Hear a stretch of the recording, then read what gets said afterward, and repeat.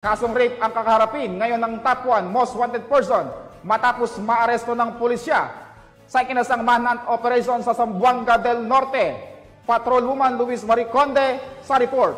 Arestado ang isang lalaki sa isinagawang operasyon ng Zamboanga City Police Station 9, katuwang ang 904th MCRMFB, C2, ACC at PAF sa Barangay de Reconalia sa bayan ng Siocon, Zamboanga del Norte nito lamang ika-26 ng Abril taong kasalukuyan. Kinilala ang naarestong sospek na si alias Aryong, 55 taong gulang, may asawa, elementary graduate at residente ng Zone 5 Barangay Taliasan, Zamboanga City.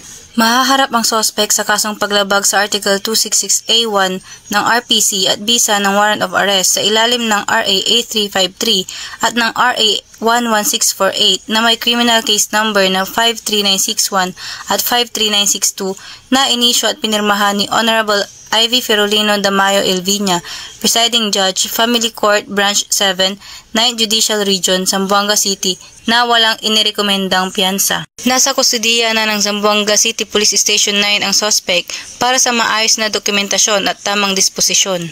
Patunay lamang na ang pambansang pulisya ng Pilipinas, katuwang ang ibang ahensya ng pamahalaan, ay hindi nagpapabaya sa kanilang sinumpaang tungkulin na huliin ang mga taong tiwalag sa batas, mapanatiling ligtas ang komunidad, at ipatupad ang kapayapaan ng bansa para sa umuunlad na Pilipinas. Mula rito sa Zamboanga Peninsula, nagbabalita, ako ang inyong PNN correspondent, Patrolwoman Luis Marie Conde. Alagad ng batas, tagataguyod ng Balitang Pulis. Maraming salamat sa iyo, Patrolwoman Conde.